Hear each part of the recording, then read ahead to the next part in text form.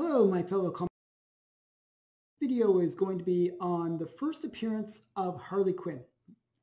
Now, a lot of people will tell you if they if you ask them what comic did Harley Quinn make her first appearance in, they would say this comic.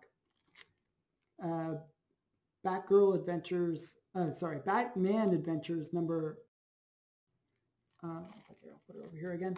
Uh, and this comic uh, does feature Harley Quinn, and it's um, her first.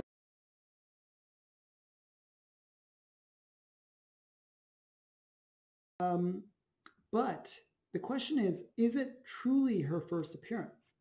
Now, there is uh, another comic that might actually be her first appearance. So this comic is from 19, December 1993. Now there's a comic that came out a few months before this uh, that is a little strange and a little bit questionable whether it's truly a comic. Um, and I'm going to show it to you right now.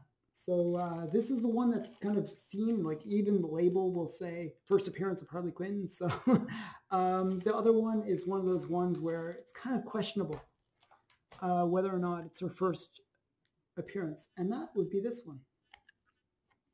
Batman almost got him. Now this is one of those comics. It is a comic, and you know you can see it uh, uh, that was done uh, with like an audio tape. So normally you would buy it and it would have like an audio tape up here. It'd be like in a little plastic thing, and little kids would read, watch it. Okay, you know they'd listen to it and read the book, and um, you know it was that kind of story. Now I'm going to open up my copy I'm going to show it to you. And I'm going to show you why. This came out like before the Batman Adventure 12. And um, I'm going to open it up a bit. I'm going to read you a story. um, doesn't say the date, but yes, it does mention that it was printed in uh, 1993. I'm not sure if you can see that. Let's see if it will focus but um, it does. It's like, you know, it looks like a standard comic, and you can see there's Harley Quinn right there. You know, she's like fairly prominent throughout the comic. I'm reading it backwards, but uh, she's featured on several pages of the comic. You can see her here. And she's throughout the comic, and she's, you know, talking, and in, she's part of the story.